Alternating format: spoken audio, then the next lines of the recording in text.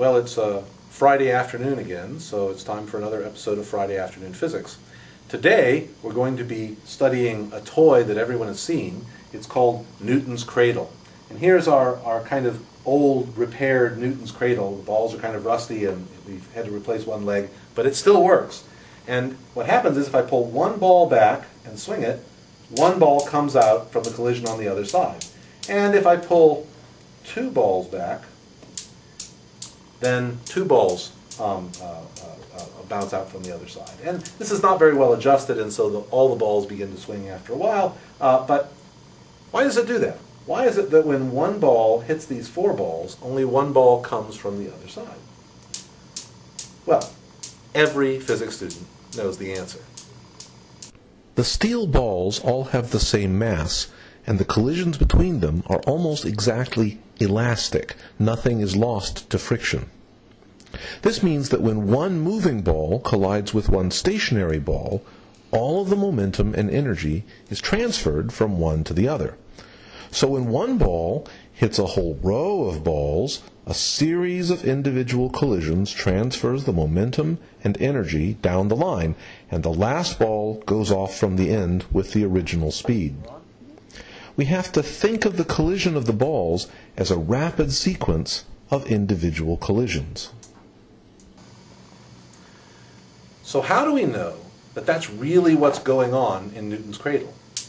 Well, we have an experiment here where we're going to record the sound made by the colliding balls.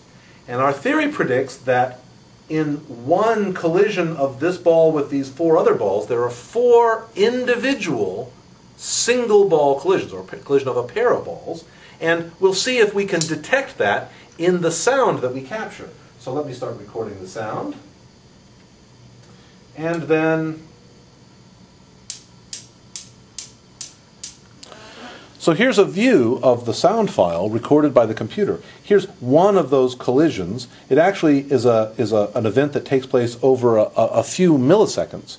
Now, here you can't tell that there are um, more than about two collisions, but if you look at some of the other collisions, and let's see if I can scan over to another one, four distinct events. Can you see that? Mm -hmm. Okay. Okay, Peter, what have we got here? Well, as you see, uh, we have a demonstration similar to Newton's cradle, right. except for our balls are rolling on a track. Okay. Now, if you take a ball, start it up higher than the others, let it start rolling, it transfers the momentum in a similar way. However, because they're rolling the transfer does not work out as well. Okay. Let's try it again. Whoa! Wait a second. That that didn't that didn't work the same. No, it didn't. Why not? The reason is the first of the stationary balls is really a strong magnet. The ball is pulled toward the magnet and hits it going pretty fast. Its momentum is transferred along the line just like a Newton's cradle the last ball leaves fast. And because it is further from the magnet, it is not slowed down much on its way out. So this setup gives the ball a net boost. Watch it again. Now, if we can give a ball a boost with a magnet, what if we line up several magnetic boosters in a row? Then we get a device called a Gauss rifle. Okay, in the Gauss rifle, we've set up a set of magnets with two balls on the backside of each magnet, and we'll let a single ball approach.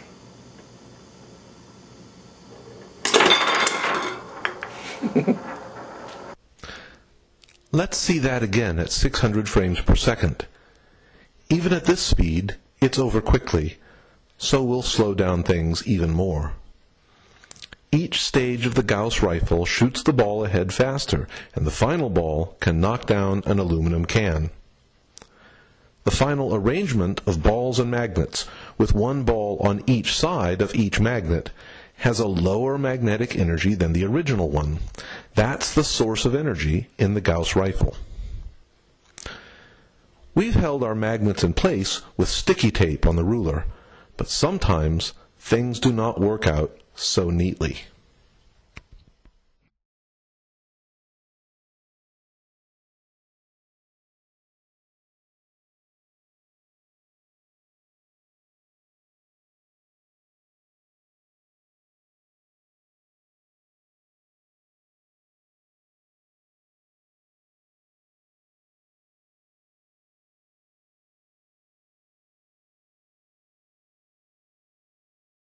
So allow me to present the Astroblaster. It's a toy you can buy, and it's a stack of four um, um, rubber balls, uh, very elastic, and uh, and they're on a on a central post, and they're designed so that the collisions between the balls will very efficiently transfer energy to the top one, and so it'll go pretty high. So Peter, Peter's going to try this out for us, uh, and I'm going to flee to safety. All right. So. You ready? Here we go. Three, two, one. Oh, Let's consider a rather idealized model of the Astroblaster. There are four balls perfectly lined up one on top of the other, and all of the collisions among the balls are perfectly elastic. The balls are set up to have a ratio of mass 1 to 1 third to 1 sixth to one tenth. That is, the top ball is only one tenth as massive as the bottom one. And they fall together and have the same speed moving downward at impact. Now, collisions between the floor and the balls and among the balls transfers all of the kinetic energy of the whole astroblaster to the top ball, which flies upward with four times the original falling speed. Which means that top ball could, in principle, reach a height 16 times that from which the astroblaster was dropped. Let's take a look at the astroblaster at 600 frames per second. It does not fall perfectly upright, and the collisions are not perfectly elastic. As a result, the three lower balls still have some kinetic energy after the top red ball leaves upward. But this energy is much less than before. So the red ball zooms away fast with the lion's share of the kinetic energy, launched high into the air by a cascade of collisions.